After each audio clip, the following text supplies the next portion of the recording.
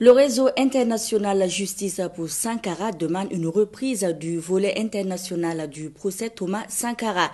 C'est avec indignation que le réseau a appris qu'il n'y a plus d'instructions au Burkina Faso concernant le volet international de l'assassinat de Thomas Sankara et de ses douze compagnons. Nous avons rencontré l'un des membres du réseau pour en savoir davantage. Annick Sarayamego est allé à sa rencontre. L'instruction sur le volet international de l'assassinat de Thomas Sankara et de ses compagnons doit reprendre au plus vite, réclame le réseau international Justice pour Sankara, Justice pour l'Afrique, dans un communiqué de presse en date du 7 février. Pour ce réseau, il est inadmissible que l'instruction sur le volet international ait été stoppée sans qu'aucune mesure n'ait été prise depuis presque un an pour la relancer. Au niveau national, on sait que ce sont des bras burkinabés qui ont été armés pour tuer d'autres Burkinabés. Mais il va sans dire qu'il y a des connexions au niveau international et même le procès a pu faire ressortir ces connexions, notamment au niveau de la France, de la Côte d'Ivoire, de la Libye et même du Togo.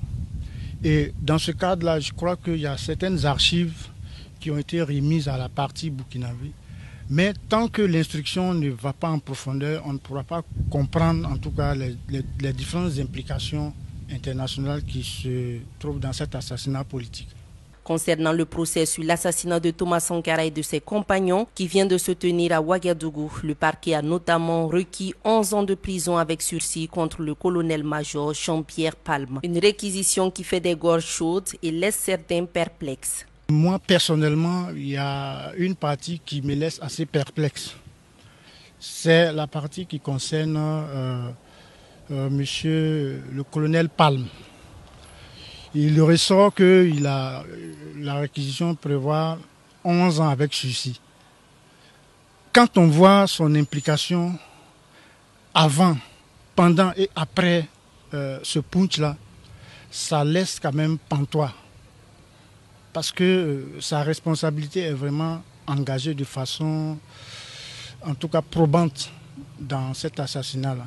Le réseau international Justice pour Sankara, Justice pour l'Afrique exige des autorités judiciaires du Burkina qu'elles s'acquittent de leurs devoirs afin qu'un juge reprenne l'instruction volée internationale de l'affaire.